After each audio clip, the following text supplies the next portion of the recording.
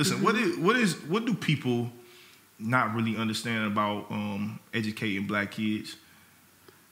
Um, you know, I think the biggest the biggest miss You can give us a couple. Okay. I know it's deep. I would say um, one thing is like you have to respect them. Mm-hmm it's not a respect you because you are their elders. Right. It's not because you're an adult they have right. to listen to you. Right. Mm-mm. Right. I've seen a lot of adults do a lot of dumbass shit. Right. They're not. That doesn't equal. No.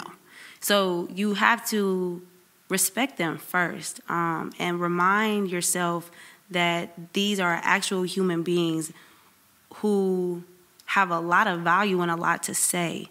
And the issue with educating black kids is that we also often want them quiet and in compliance and sitting at a desk and not making no noise and in a straight line and pants pulled up and shirt tucked in and they're not in jail. Yeah.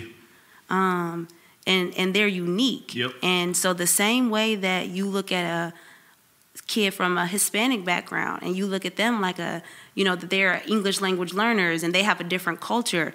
Our black kids need to be looked at just like those Hispanic kids. Like they come from their own culture. And so you cannot go into this work assuming that they are just like a white kid because they're just not. Like mm-hmm. the same way that a Chinese child and a Hispanic child are so unique in their culture, black kids are too. And so you know, a lot of times because their cultural differences aren't valued nor respected, they get this label like they're dumb.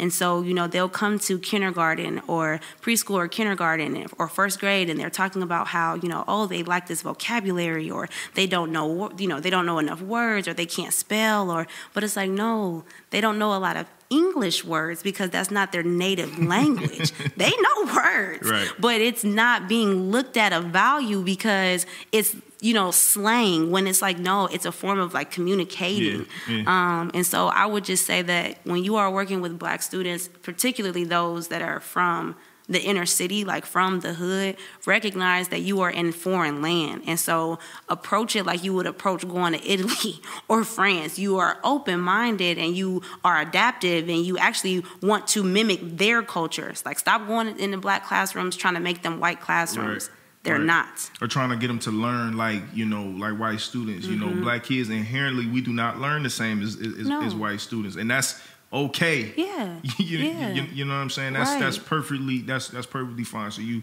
you you speaking a lot of real